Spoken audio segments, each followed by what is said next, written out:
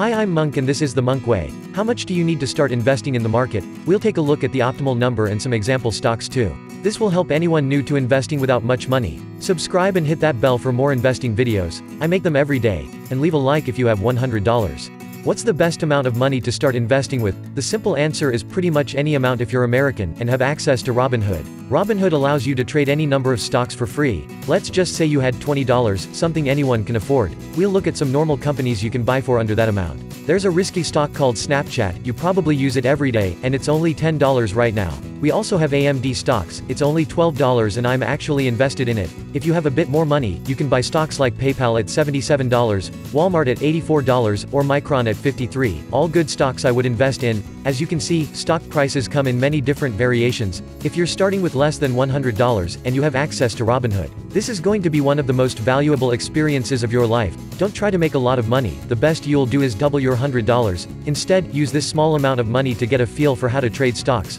Look at how the market reacts to bad or good news, and what happens after a stock releases earnings. There's no big difference between trading with $100 and 100,000, it's a matter of risk. If you don't have access to Robinhood, there's a very different answer. Let's say you had $100 and wanted to trade stocks. In theory, you could buy some stocks and have it cost you $7 in fees. To sell those same stocks would cost you $7 as well. That's $14 in total, or 14% of your $100, meaning as soon as you buy a stock, you'll be down 14%. That is not a good deal for you. This stock trading fee goes down exponentially the more money you put in.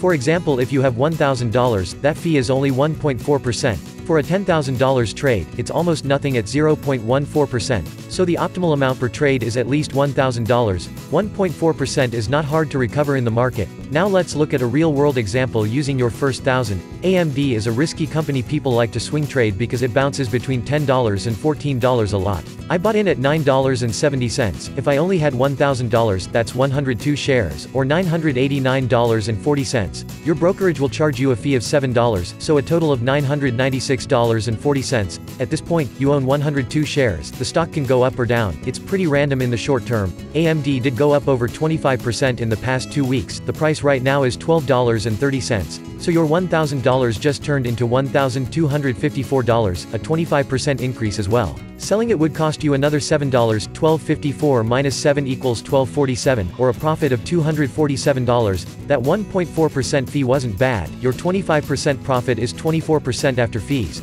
Huge spikes like this is not common, realistically, a good return is 3% in under a month. Because stocks tend to go up slowly, it's a better idea to keep your stock for a long time, over a year. This way, if a stock is up 30% next year, that 1.4% fee is almost nothing, letting you enjoy the profits. Let's look at the other side of starting with little money. If you started with only $100, let's say you bought 9 shares of Snapchat at $10 a share. After a fee of $7, it'll cost you $97 to buy those stocks. Two weeks later, the stock is up 1% at $10.10 and cents and you decide to sell it because you stopped using Snapchat. Selling 9 shares at that price means you get $90.90, plus you have to pay $7 out of that money giving you 83.9, your $97 turned into $83.90, a 13.5% loss. A loss of 14% straight away if you decided to buy stocks with only $100. The market on average moves up 10% a year, you can definitely beat that but getting even 20% is not too realistic for the average person. If you want to trade with this little money, it can still teach you a lot. In this situation, you want to only focus on how the stock moves, not how much you can make because it won't be much.